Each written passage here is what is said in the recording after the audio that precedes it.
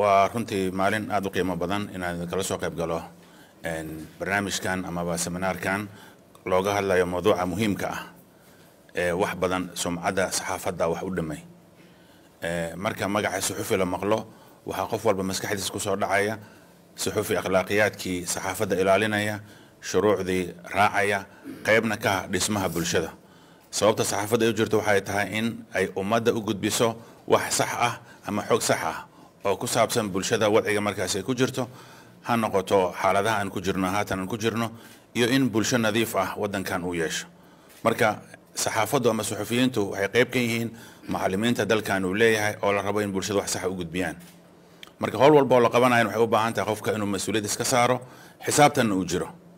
Sababtan saa u leeyahay waxa ay tahay wax walbaad shacabkaas u gudbinaysa haddii ay wanaag yihiinna wanaaggii waddankan uu lahaa amaba la rabay in la gaarsiiyo ayuu qayb ka qaadanaya. Haddii ay yihiinna wax ka hor imaanaya dabcan waxay noqonayaan wax ka hor imaanaya xeerarka waddankan u degsan taasoo keeni karta in qofka lagula xisaabtamo ama ciqaab uu ku muto.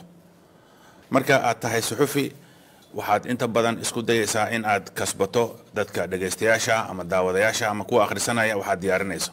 Marka haddii lagugu barto sumcad xumo ah in soo gudbinayso warar aan xaqiiqda ku salaysnayn tartiib tartiib waxaad uga baxaysaa saaxaddii saxaafadda. Waxaa ku soo haraya saxaafadda markaasi dadka loo arko in ay akhlaaqiyaadka ama ethicska saxaafadda sida saxda u raacaya dadkana u gudbinaya warar nadiifa oo caafimaad leh oon dhibaato gaarsiinaynin dabcan ka qaad adigoo gudbiye war aan sax ahayn oo dad sabab marka dambe in dad intay isku dhacaan ama dil uu ka dhaco. Qayb ayaad ku leedahay sababtoo ah adiga ayaa kiciyey oo fidnadaasi horiyey marka xisaabtanka noocaasa waa inay maskaxdaada ku soo dhacdaa mar walbaad wax qorayso aad dadka la wadaagayso.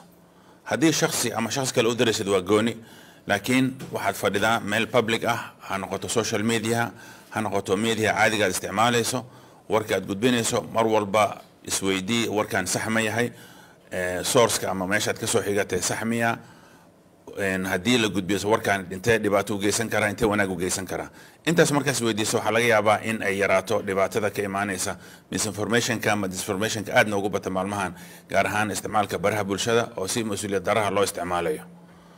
Waddankan wuxuu ka soo kabanayaa dagaalo sokeeye dhibaatooyin badan ayaa ka jira. Marka kaalin aad u ballaaran oo ah inaad runta gudbisaan ayaa idinkaga bannaan oo ah sidii bulshadan dib loogu dhisi lahaa.